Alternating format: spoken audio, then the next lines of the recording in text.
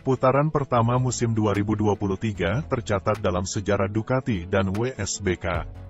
Tim Aruba.it Racing Ducati bersama dengan tim WSSP Aruba.it Racing menyapu bersih semua race di ajang WSBK dan WSSP dengan pembalapnya Alvaro Bautista di WSBK dan Nicolo Bulega di WSSP.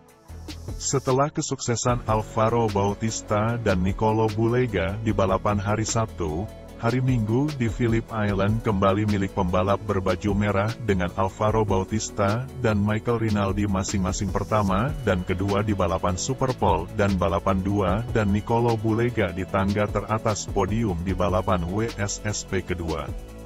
Ini merupakan sejarah yang dicetak oleh Ducati mengingat di satu pekan balapan berhasil menyapu bersih semua kelas dengan podium satu di WSBK dan WSSP. Alvaro Bautista. Ini akhir pekan impian. Tidak diragukan lagi cara terbaik untuk memulai musim juga karena kami telah menunjukkan bahwa kami sangat cepat dalam segala kondisi, baik dalam hujan maupun dengan suhu yang berbeda. Saya sangat senang dan saya ingin berterima kasih kepada tim saya, yang menempatkan saya pada posisi untuk bisa mendapatkan hasil ini. Michael Rinaldi, itu adalah hari Minggu yang sangat positif.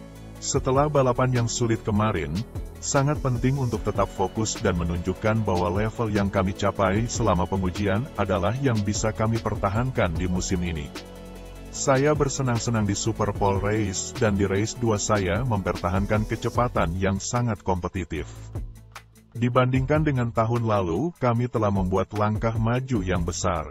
Sekarang kami harus bekerja untuk memperbaiki detail-detail yang akan memungkinkan kami untuk lebih dekat dengan Alvaro.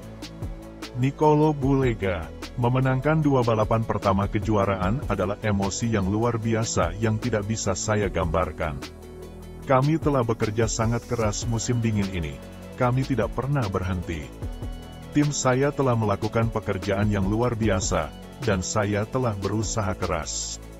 Pelatihan pengorbanan ini membuahkan hasil dan saya tidak sabar untuk berada di Indonesia, di mana saya memiliki perasaan positif tahun lalu.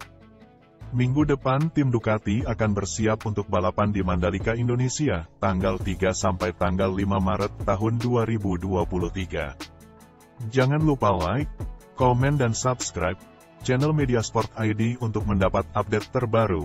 Terima kasih telah menonton.